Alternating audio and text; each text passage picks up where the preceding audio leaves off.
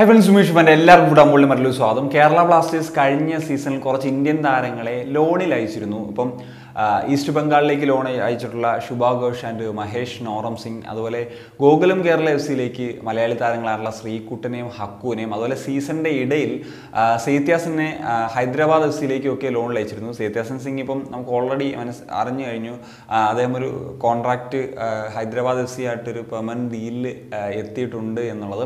അതുപോലെ മറ്റ് സിംഗ് ഇപ്പോൾ ഈസ്റ്റ് ബംഗാളിലേക്ക് നോക്കുമ്പോൾ മഹേഷ് നോറം സിംഗുമായി ക്ലബ്ബ് വേർപിരിഞ്ഞ് അതായത് ഈസ്റ്റ് ബംഗാളുമായിട്ടൊരു എഗ്രിമെന്റിൽ എത്തിയവരും കേരള ബ്ലാസ്റ്റേഴ്സ് തന്നെ ഒഫീഷ്യലി ഇപ്പം അനൗൺസ് ചെയ്തിട്ടുണ്ട്. അദ്ദേഹം നല്ല പെർഫോമൻസ് തന്നെയാണ് ലാസ്റ്റ് സീസണിൽ ഈസ്റ്റ് ബംഗാളിൽ ഒരു മുന്നേറ്റ നിരയിൽ കാഴ്ചവെച്ചത്.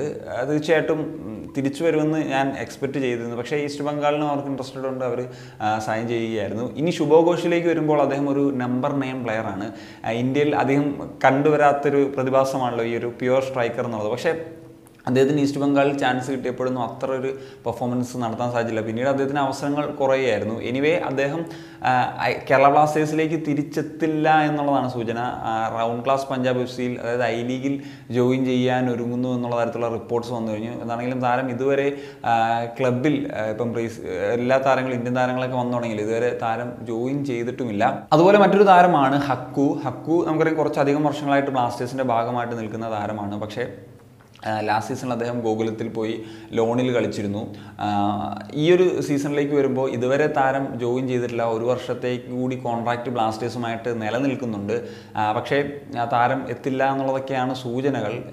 എനിവേ നമുക്ക് കാത്തിരുന്ന് കാണാം. എനിക്കൊന്നും മിക്കവാറും ഗോകുലത്തിൽ തുടരാനുള്ള സാധ്യതകളുണ്ട്. അല്ലെങ്കിൽ അദ്ദേഹം വേറെ ക്ലബ്സിലേക്ക് ചേക്കേറും എന്നുള്ളതാണ് ലോൺ ലോൺ ഇപ്പം മാറ്റിയൊരു ഡീലിലേക്കോ ഒക്കെ ഗോകുലമായിട്ടോ ഒക്കെ എത്താനുള്ള സാധ്യതകളാണുള്ളത് ദെൻ ശ്രീകുട്ടനാണ്. ശ്രീകുട്ടനിലേക്ക് വരുമ്പോഴും അദ്ദേഹം ബ്ലാസ്റ്റേഴ്സിന്റെ ഡുറൻഡ് കപ്പിലും അതുപോലെ തന്നെ പ്രീ സീസണിലൊക്കെ നല്ല പെർഫോമൻസ് നടത്തിയിരുന്നു. വിങ്ങിലാണെങ്കിലും അതുപോലെ തന്നെ ഒരു സെൻട്രൽ ഫോർവേഡിലാണ് കൂടുതലായിട്ട് ബ്ലാസ്റ്റേഴ്സ് കളിച്ചിട്ടുള്ളത്. ദെൻ അവിടെ നിന്നാണ് ഐ ലീഗ് ക്ലബ്ബായിട്ടുള്ള ഗോകുലത്തിലേക്ക് പോകുന്നത്. ഗോകുലത്തിൽ ഐ ലീഗിൽ ആറ് മാച്ചസ് കളിച്ചിട്ടുള്ളൂ. അതിൽ ഒറ്റ മത്സരം പോലും ഇലവണിൽ അദ്ദേഹം വന്നിട്ടില്ല. ഇടക്കാലത്താണല്ലോ ജോയിൻ ചെയ്തത്. അപ്പം അവിടുന്ന് പക്ഷേ അദ്ദേഹത്തിന് രണ്ട് ഗോളുകൾ കണ്ടെത്താൻ സാധിച്ചു. കൂടുതലും അദ്ദേഹത്തെ ഒരു വിങ് റോളിലാണ് കളിപ്പിച്ചിട്ടുള്ളത്.